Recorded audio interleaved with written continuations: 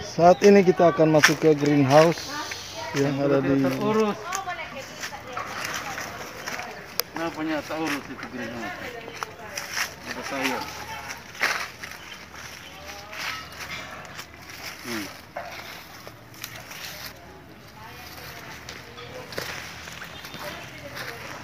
Ini greenhouse. Jadi pondang besar-besar. Pondang yang dari Papa Guru ini, kung dat tada pela dan tuari. Hmm. Nah, sana pohon apa, Dang? Yang mana? Hmm, itu. Buah. Uh, Papa Guru dah tanam tuari. Pohon Itu mana? Itu ini. Eh, cuma ada bertemu begitu. Apa sih itu? Apel? Bukan. Ini tumbuh kan? Hah? Iya. Coba jelaskan sebentar Pak Guru tanaman yang ada di greenhouse kita di SD Katolik 10. Ini untuk bumbu RW. Ya. Kemudian ini bunga. Ini Ini apa? Sirsak. Hmm. sirsak. Mer sirsak bunga. Iya. Karena apa Pak Guru bisa Ya, katakan sirsak bunga? Besar, hanya kecil begini. Mini sirsak. Sirsak, sirsak bunga ini. Hmm. Ini namanya sirsak bunga. Hmm. Tidak ada pertumbuhan. Tidak ada pertumbuhan. Kenapa? Karena dia Tidak ada air. tidak lagi disiram. Iya, ini pondang. Pondang yang subur. Sudah banyak. Kalau mau membutuhkan pondang, ditaruh di misalkan atau bikin kue boleh juga. Nah ini, ah ini yang kita cari ini. Ini jambu, jambu. Sama dengan di ujung ini lemon atau jeruk pembubu ini, pembubu dalam greenhouse. Yang sedianya ini tanaman-tanaman yang berbatang tapi sudah bertumbuh di greenhouse. Berikut ada rica, tapi ya tidak terurus. Ini rica. Richard pun Richard terkena COVID. Ya, covid. Berikut ini kunyit. Ada, ada kunyit lagi di sini. Ini Iya, mah, ini besar kunyit mah ya. Besar besar tuh tahu tanda tanang ini. Kunyit ada banyak. ya. Kenapa ini ada kunyit? Hmm. Hmm, banyak ini semua buah ini. Hmm. Ini serai. Serai banyak. Ramakusu Manado bilang. Jadi kalau mau masak semuanya sini. Ya tidak perlu lagi mau ke pasar. Nah ini serai. Ini situasi yang ada di dalam greenhouse. Greenhouse. Sayur gedi Banyak tanaman-tanaman. yang belum terurus lagi. Oke. Kita Ada akan tanaman obat. Iya. Pindah di tempat yang lain Hmm. atau ada kesampaian. Perlihatkan eh, tanaman yang sudah ditanam itu, Pak Guru. Ini tangan panjang, ya, kacang panjang. Ah, ada satu. Bibit. Nangka, nah nangka itu pohon Ah, itu sama tunggu berbuah. Panjang ini boleh bikin bibit. Mau ditanam. Mesin pohon bibit. Mau nangka, tunggu berbuah. ini lokasi greenhouse Iya. Nangka. yang ada di SD Katolik 10. Banyak tanaman-tanaman obat juga ada di sini. Tanaman obat itu kejebeling. Yang mana Pak. Guru? Kejebeling. Hmm, ini. Ini kejebeling ini. Fungsi dari tanaman obat ini. Ini diambil daunnya 8 atau berapa lembar 9 kemudian dicuci bersih dan diseduh dengan air panas dia bisa menghilangkan sakit pinggang Sakit pinggang. iya sakit pinggang atau berupa yaitu capek-capek lelah ini daun kejubeling sekarang sudah ada dia punya kapsul Hmm. kapsul kejubeling Jadi kalau siapa yang mau membutuhkan membutuhkan bisa ambil saja Iya. langsung di sini. Boleh. Lokasi di mana ini?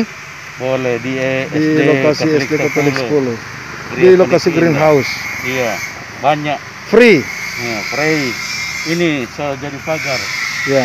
ditanam Jadi tanaman ini sangat bermanfaat untuk eh, sakit untuk, pinggang, Iya, bisa menghilangkan sakit menghilangkan pinggang. obat Ya, sakit pinggang. orang yang sakit pinggang. Iya. Coba ada tanaman-tanaman lain yang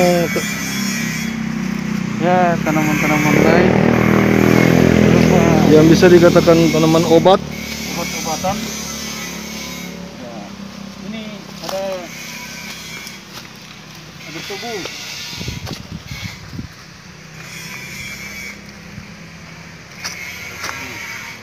Ini tubuh.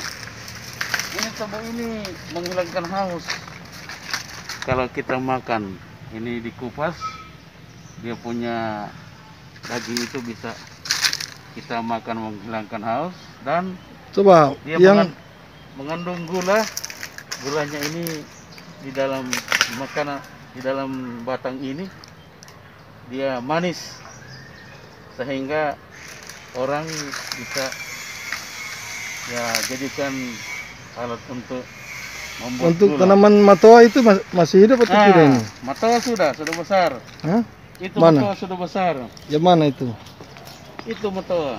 Matoa sudah besar. Hmm. Kita lihat Kalau posisi melihat matoa di greenhouse kita. Ini moto nah, ini serai ini aduh banyak serai. Banyak tanaman serai. Oh, Ah, ternyata moto. Tanaman moto ini ya kurang lebih sudah dua tahun. Sudah dua tahun. Iya.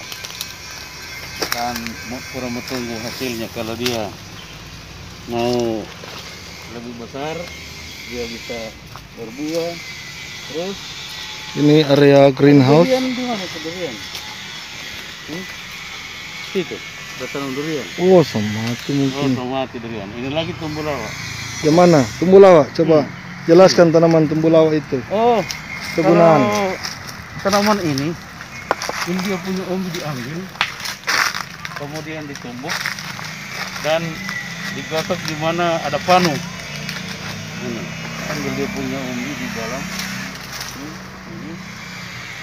Terus kupas bersih, kemudian ditumbuk dan digosok di mana ada kulit yang ada bercak-bercak putih panu dan ini juga boleh campur di Orang kecapean juga tumbuh lawak. oh iya orang kecapean juga bisa ambil berapa ya Yang sering pakai dijamu tuh ini. iya untuk di blender dire- direbus airnya disaring kemudian diminum.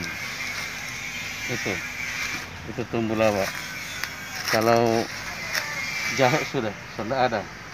Kalau Ya mungkin ada serai banyak ini jadi yang membutuhkan orang menghubungi. Security dan Pak Jendri. Ini lokasi greenhouse yang ada di SD Katolik 10. Banyak tanaman-tanaman yang berguna sangat bermanfaat untuk kita ya. kesehatan Ada tanaman kesehatan. Banyak buah juga di sini. Sirsak, buah mangga ada mangga.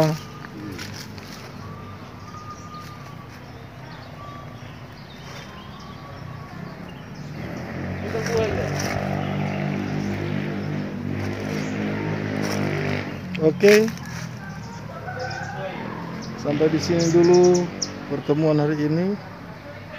Lokasi di SD Katolik 10 Santa Teresa Manado di Gria Paniki Indah. Ini lokasi greenhouse yang kita buat bersama untuk tanaman-tanaman obat. Di- lokasinya ada di belakang ah, bagian sekolah ini. Oke. Jangan lupa like, comment, dan subscribe channel ini. Terima kasih.